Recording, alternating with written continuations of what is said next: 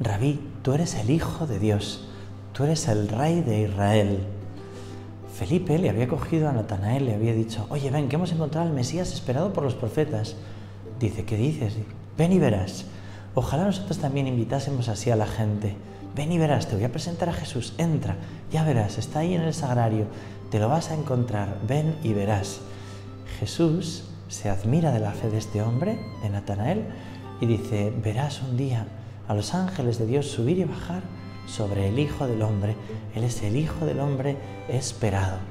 Qué hermoso es conocer al niño Dios.